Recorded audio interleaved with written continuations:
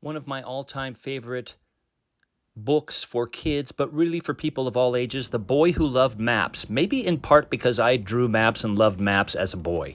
But this book is wonderfully told, scripted, illustrated. The Boy Who Loved Maps by Kari Allen and G. Brian Karas. I highly recommend this book. You can see the wonderful illustrations here, but also about this kid who loved drawing maps and the friendship that he developed in the book and the love of looking at the world in his own neighborhood and thinking about the world in a larger context is just absolutely fascinating. You can see that there are terms so you can educate students about maps, but do so in a friendly, inviting, inclusive, wonderful way.